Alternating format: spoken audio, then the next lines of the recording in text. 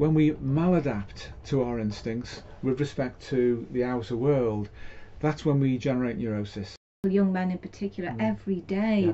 who are so caught up in Jungian ideas and Jungian theory that they don't have a life. Then you've got your prefrontal cortex, which is your thinking rational side, and there'll be some element of conflict between the two. Hi, everyone, and welcome back to Jung to Live By. Today, we've got another episode of Ask a Depth Psychologist, our series that we run on the YouTube channel, where if you're signed up at the $10 tier or higher on Patreon, you can submit a question for myself, Steve, and Pauline to dig into on the YouTube channel. And today's question comes from Gospel of the Wolf. And he, or she, I believe it's he, says, I found my mind blown by the video regarding the superiority complex. We'll link that in the description down below. I'm an INTP male who thwarts his own potential due to feeling guilty when I put in honest effort. As a result, I often feel trapped between two poles that of a desire to thrive and that of compassion. This video described my inner dissonance to a T. The solution, as I recall, was deepening social interest, a la Adler's theory. Can you expand on the concept of social interest and if there are any special warnings or trappings that one should be aware of? What do you think, guys? Oh, thank you. That's uh, that's a, a kind comment about the video. Um, I'll approach this in a, an unusual way, a, little bit, a little bit oblique, uh, you might say. Adler was a necessary compensation for Freud and a necessary bridge to Jung, but at the same time, he kind of leapfrogs Jung as well because of Jung's very, very heavy emphasis on introspection. Historically, it goes Freud, Adler, Jung and you could say that um, that's the order in which you should learn them, and I generally recommend that. Uh, Jung himself said the same. He, he said you should study Freud first, and then Adler, and then him. Adler is uh, a complete body of work that stands alone with and for itself. You, you could follow an Adlerian path and not look at the others. Lots of people do. The concept of social interest, though, and even the inferiority complex and its obverse, the superiority complex, I think can be usefully looked at in a, a different way. And that is to move away from Adler uh, and bottom out right down into instincts and then come back up into Adler's theory after you've understood what's going on at that level. The reason why I say this is that you avoid psychological reductionism and even psychosocial reductionism. You've um, described yourself within a Myers-Briggs framework as being an INTP. That brings all sorts of things with it as well. Um, you have to be sure that you are one. Mm. You have to be sure that you've always been one. You have to be sure that you always will be one. Three very, very important questions that would pressure test the whole concept of you being an INTP. So let's get beneath that and see what's going on. Fundamentally, it'll be about adaptation to the world, and this is where Adler comes in with his social interest. And the idea that an inferiority and a superiority complex, which always work together by the way, to some extent, will be involved in your adaptation. And he would suggest that social interest is the solution, he does suggest this, the solution to an inferiority complex or even the superiority complex. but what's really going on? What's really, really going on with you? With any of us that we should reduce our perspective down to psychology. Let, us get back to first base and see where we're actually originating from. We come from our genome.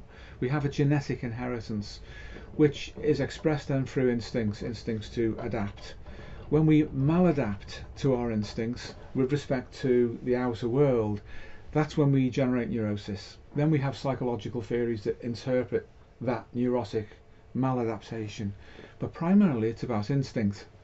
If you have a lot of potential uh, and then you become embarrassed by it, you could interpret that as an Adlerian superiority complex. It fits the psychological and psychosocial model of Alfred Adler very well. He then suggests that the remedy would be social interest, that is, engagement with people, engagement positively with others, with society, and that would move you away from a biological or an instinctive emphasis now that is the right direction to go in. Your instincts paradoxically want you to go in the direction of adaptation to society and culture.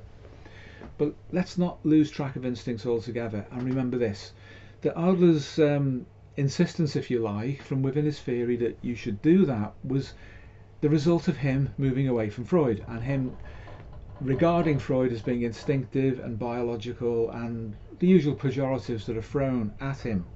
But remember, if we want to do that about Freud, if we want to separate ourselves from him, we have to set something up as a justification for moving away. Jung did exactly the same. Um, and he did exactly the same with respect to Adler too. So the three of them constructively misunderstood one another in effort to describe their own models. Let's get away from that. Let's look again. Look at instincts. What's what's what's really happening here? In a Myers-Briggs frame, seeing, seeing as you've chosen to look at that, as an INTP, your extroverted intuition would map on to the Panksepian seeking system as an instinct. This is the extroverted side of you according to Myers-Briggs. So you're going to be orientated towards the world in that way, but it's your auxiliary function. It's not your dominant function. Your dominant function is thinking. And that's introverted according to the Myers-Briggs. Let's look at that again. Another little change in resolution the thinking function, when it's pure in Myers Briggs and therefore underneath that, Jungian uh, terms, is very prefrontal uh, cortex. That's great, that's fine, that's fully human, it's perhaps even uniquely human. There are other animals that have a, a refined and high level of consciousness with respect to their level of neurological development, but with human beings, it's really well refined. But your intuition is far more instinctive Jung called it irrational. Uh, the sensing function and the intuitive functions were irrational to him. It didn't require cognition, it was just about action. Either internally focused or externally focused, but it was engagement with something in a living sense. It was information processing, if you like, from a, a, a modern psychological sense, um, but irrational in the sense that Jung meant it, that it didn't involve cognition or evaluation, evaluation being feeling from within a Myers-Briggs or a Jungian model. So you've got then both your instincts in the form of extroverted intuition pushing you to act on the world, and then you've got your prefrontal cortex, which is your thinking rational side, and there'll be some element of conflict between the two. So your seeking system is pushing you to adapt and then your thinking function is saying oh can i do this? Should i do this? And it's it's evaluating everything analyzing everything. So the two of them are not working together. That's what you're probably really feeling. And then interpreting that in the way that you have. Social interest if you had it to the extent that you uh, feel that you want it having watched that video would mean that your thinking and your intuition would work together. You'd be out in the world. You'd be engaging with society at a biological level, your Panksepian instinct, your seeking system would be fully engaged, um, and then you would get the best level of adaptation. So, what I'm saying is that underneath all of the psychological theory, as such, from those great pioneers from the past, Adler and Jung and Freud, there is instinct. And our genome doesn't really care much for psychological theories that try to explain it. It is simply what it is, it's simply so and you'll feel that instinctive pressure to engage socially. How you think about it for your dominant function will be where you generate the mismatch. Now, I don't want to sound like a CBT therapist because they're far too psychologically reductive, but with an introverted thinking type, you do need to engage your auxiliary more, particularly as it's extroverted and has to do, whatever that function is, by the way, has to do with the outer world. So I would reframe how you're conceiving of this. That the social interest is your goal, but you need to engage deeply with your instincts in order to achieve that.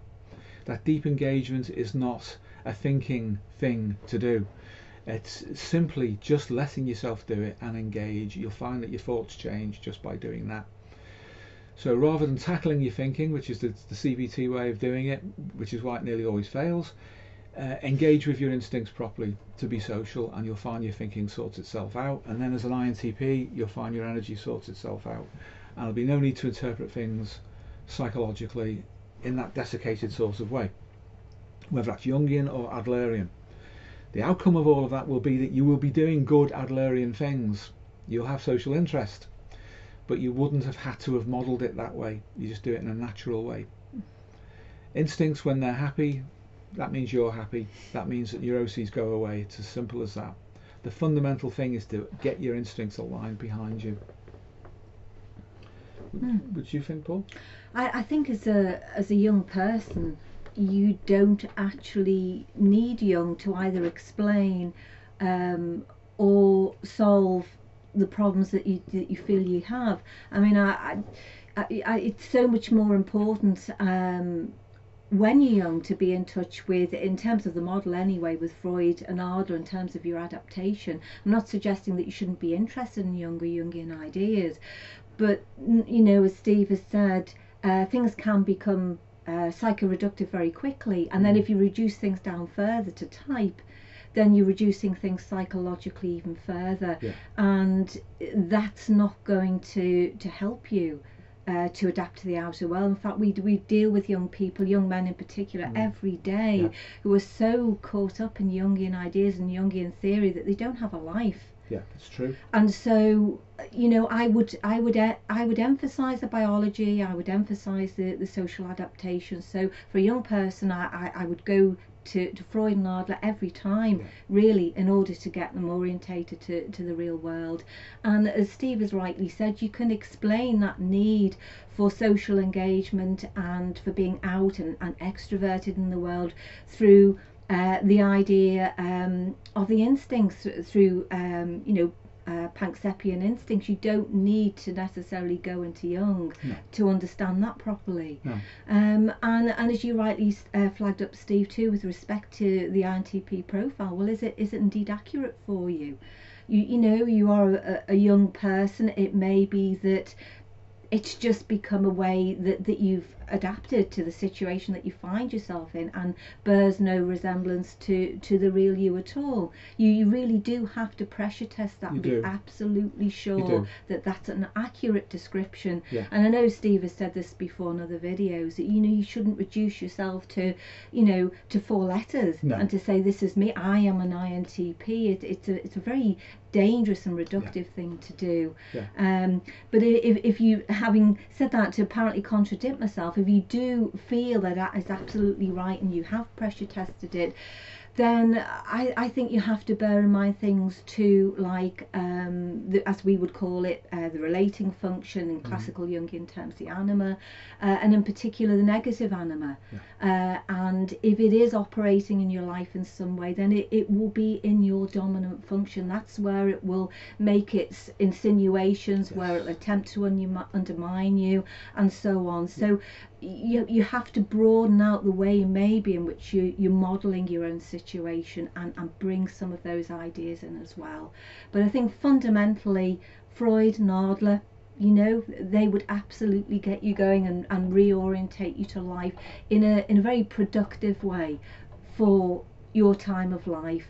Um, there's time for Jung later, really Yeah. in, in terms of living your life through those ideas.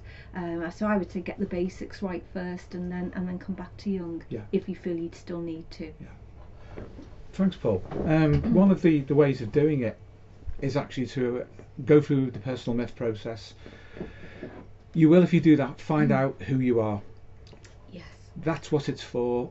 That's the intentionality of it is to really, really uncover your through line, find out who has influenced you, what your core ideas and values are, where you stand right now. That's your personal equation once once you've solved that. Then you can approach Jung and his idea of individuation with authenticity because you've you've sorted it out. You've from the very earliest memory or the very earliest influences upon you right through to today whenever you, you watch this video that's your, your your narrative through line that's the the journey work of your life you need to understand that before you can authentically move forward because otherwise all the traps that have been laid in the past will just reappear again so I would suggest that the personal myth process as being the best way to sort yourself out. Then you can approach reductive psychological theories and you can pressure test them properly without simply being influenced by them as ideas. Yeah. That's an important thing. It, it is. I mean, obviously, you know, you well, you don't reduce yourself to No. to a four letter code, No. uh, but but it, just for for the for argument's sake, if, we say that you are an INTP, Steve, whatever that means, um, then certainly, uh, probably throughout the whole of your life, you have used your intuition, your Yeah. Jungian intuition, to um, mediate the outside world, and and it can be extremely effective Hmm. uh, in warming up situations, of engaging people, of getting people to respond to you positively. It's a Yeah. great rapport builder, Yeah. extroverted intuition, where, where it's working well. Yes. Yes. Yeah. And uh, there's so much about type. Thank you, Paul. There's so much about type as well, which we, you need to be decluttered from. Yeah. Um, the unconscious has no type. No. Typology is, is about the psychology of consciousness. To understand that in depth, you'd need to do a little bit more study, and then it'll become clear. Yeah. Uh, But the proliferation of nonsense about Jung's type theory is is an overwhelming force in a way out there on the internet, and it has to be it has to be seen for what it is. It's uh, one gigantic straw man. I'm afraid it's not how Jung intended his theory to be used at all. So remember, it's all about consciousness. There is no unconscious type. Yeah. None. Um, it's really, really important that, that if you want to work with your unconscious in a Jungian sense, you have to accept the unconscious for what it is on its own terms. Do not internally project your own ego backwards in there, and any fantasies or complexes that your ego might have that it could have internalized from the culture, whether that's a Jungian theory-based fantasy, an Adlerian one, uh, or based on any philosophy or, or belief system. The unconscious doesn't care about any of that. It is Mhm. what it is. And in order to experience it, it's polite to ask it how it wants to present itself to consciousness. So the more that we put in the way of experiencing the psyche as it really is, the more of a distraction we become to ourselves. So uh, yeah, there's a lot. There's a lot more you could be doing that would, Yes. would, would help you a lot more than worrying about that. But if you want to solve the problem of social interest, Mm. then it's your Jungian extroverted side, your extroverted intuition. Um, the thinking will sort itself out if you adapt. And at bottom, it's instinct, and behind the instinct is your genome, and it's intentionality. It's teleology for your lifespan development and adaptation. Yeah, I, I, I would look at where you're limiting yourself with that four letter code. I mean, uh, Yeah. your negative anima would have a field day Oh, with yeah. that. And, and may insinuate that someone, because you're an INTP, that you're an academic and you can't socialise and you Yeah. can't be good with people or, or address things in the outside Yes. world. It, it- Yeah. You know, all of those things could be mani- manipulated um, Yeah. if you believe that that's that's all you are. Um, so just just be careful. There are traps in there. there are. Um, you, you- you'll you'll find that the uh, so-called negative anima will be looking for confirmation bias, yes. And it will look for it in the stereotypes of the collective consciousness. Mm. In other words, the cultural nonsense that's out there uh, to do with type theory, for example, and, and for other aspects of Jung's model as they are currently interpreted, and as they're pushed by uh, internet pop Jungians and gurus. Um, if you fall for that kind of influence, your so-called introverted thinking will just consume it and then feed it to its extroverted intuition, which will propel it back out into the environment looking for confirmation bias, all of which is being directed by Jung's negative anima, and you'll be trapped. Yeah. Separate yourself off from these influences, discover the psyche for what it is, and what it's interested in is you. It's interested in your genomic potential, you fulfilling that as optimally as possible across your lifespan development, across that trajectory. That should be your focus. Finding out who you really are, not how people have suggested to you that you should interpret yourself. Mm.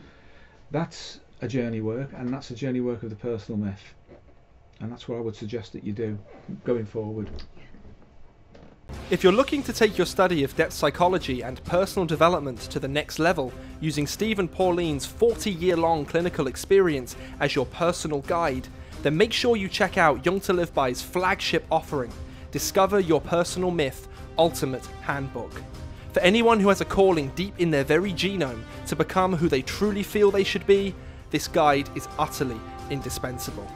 Pick up your copy today and make 2021 the year you truly begin to become yourself.